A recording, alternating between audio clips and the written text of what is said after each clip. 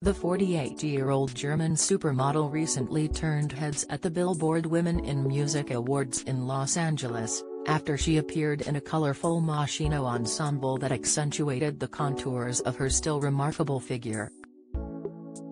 The mom of four's outfit was coupled with a striking pink handbag, matching nails, black strappy heels, and heavily lashed ties.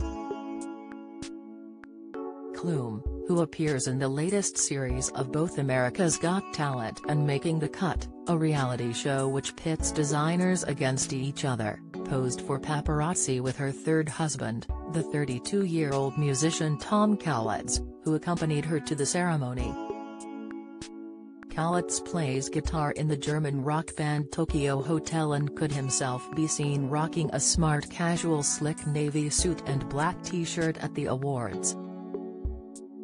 The 72-year-old American singer Bonnie Raitt was celebrated with the coveted Icon Award, while the 19-year-old sing-songwriter Olivia Rodrigo won Woman of the Year.